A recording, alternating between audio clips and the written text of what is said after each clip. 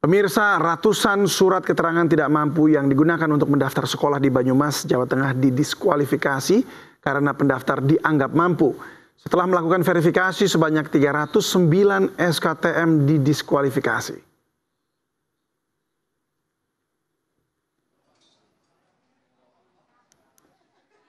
Setelah melakukan verifikasi, akhirnya terdapat 309 warga pengguna surat keterangan tidak mampu didiskualifikasi. Warga yang terdiskualifikasi adalah mereka yang tidak memenuhi persyaratan sebagai warga kurang mampu secara ekonomi. Selain itu pengguna SKTM ini tidak memenuhi unsur sebagai warga miskin. Sebelumnya terdapat lebih dari 2.000 warga di Kabupaten Banyumas, Jawa Tengah yang tiba-tiba menjadi warga tidak mampu secara serentak dengan menggunakan SKTM untuk mendaftarkan anak mereka ke sekolah.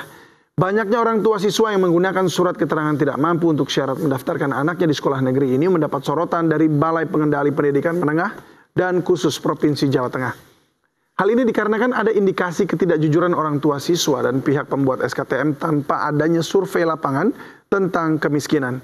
Balai Pengendali Pendidikan Menengah dan khusus Provinsi Jawa Tengah juga akan mengeluarkan siswa yang menggunakan SKTM namun kondisi orang tuanya dikategorikan mampu.